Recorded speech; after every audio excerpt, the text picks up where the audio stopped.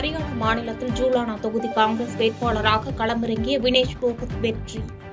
பாஜக வேட்பாளர் யோகேஷ் குமாரை வீழ்த்தி ஐயாயிரத்து தொள்ளாயிரத்து ஒன்பது வாக்குகள் வித்தியாசத்தில் வெற்றி பெற்றார் வினேஷ் போகத்.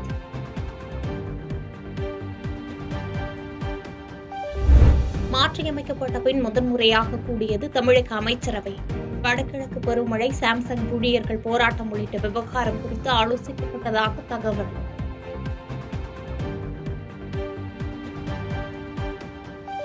பாதகம் செய்பவரை கண்டால் நாம் பயங்கொள்ளலாகாது பாப்பா.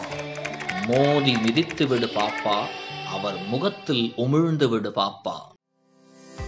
அண்மை செய்திகளை உடனுக்குடன் தெரிந்து கொள்ள இணைந்திருங்கள் இயம்நாடு தொலைக்காட்சியுடன்.